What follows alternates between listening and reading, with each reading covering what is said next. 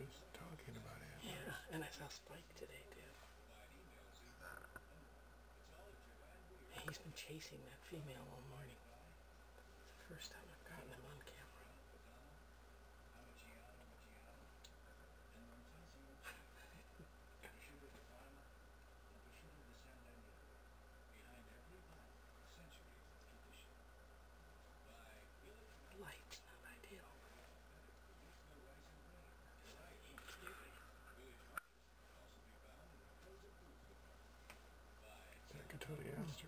Cotoneaster?